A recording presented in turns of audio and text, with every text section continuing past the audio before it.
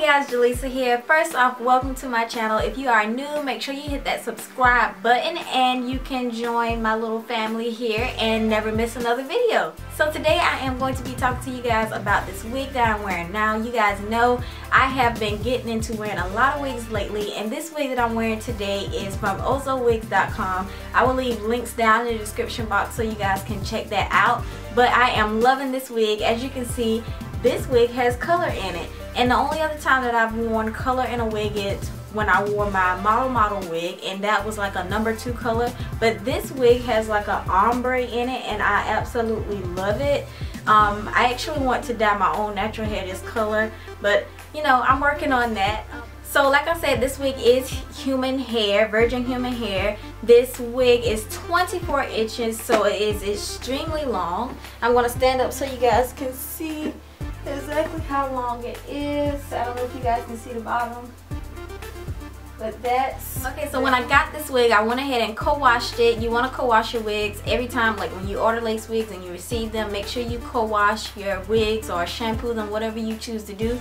But I co-washed this wig and I let it air dry. I didn't blow dry anything to apply, you know, excessive heat, but I air dried it and once it was air dried I went ahead and put my wig on and I flat ironed it and then I grabbed my curling wand and that's how I got these curls in to this wig. Now this wig holds curls very well. I didn't leave the curling wand on that long so like every time I grab the strand like 10 seconds is the most that I will hold um, the hair on that curling wand and I think the curls held pretty well. It didn't dry out the hair a lot and of course I used heat protectant because I didn't want to you know damage this wig because it is human hair and you want to treat it like you know it's your own.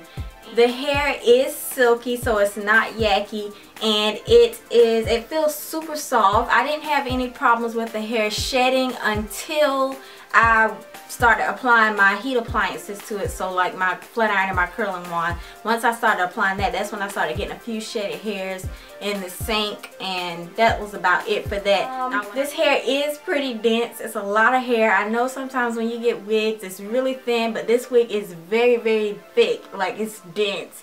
Um, so yeah, you wouldn't have to add any clip-ins to make it thicker, nothing like that. I didn't tease this hair, so it's already pretty thick to me.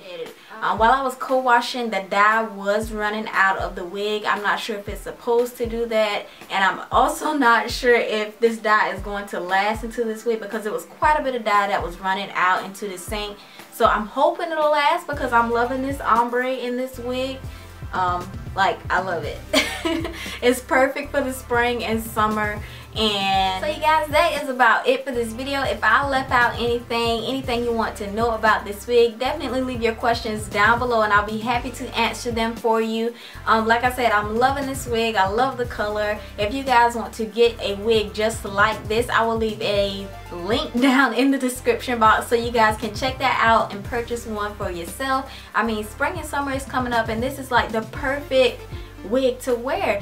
But you guys definitely make sure you give this video a thumbs up if you found it helpful. Make sure you hit that subscribe button so you don't miss out on more of my videos. And I will see you guys in my next one. Bye